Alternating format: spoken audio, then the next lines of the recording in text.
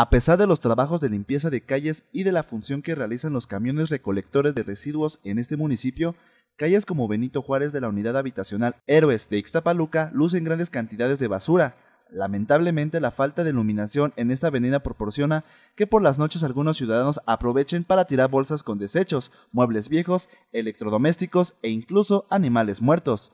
Según versiones de los vecinos, algunos automovilistas aprovechan su paso por esta avenida para arrojar el desperdicio hacia las áreas verdes aledañas a esta avenida.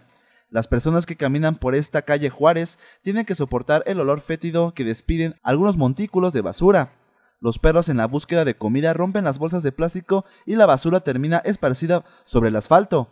El llamado es a los ciudadanos para que se abstengan de este tipo de acciones, ya que podrían ser sancionados, como lo marca el bando municipal, hasta con 10 mil pesos si se les sorprende tirando basura en la vía pública.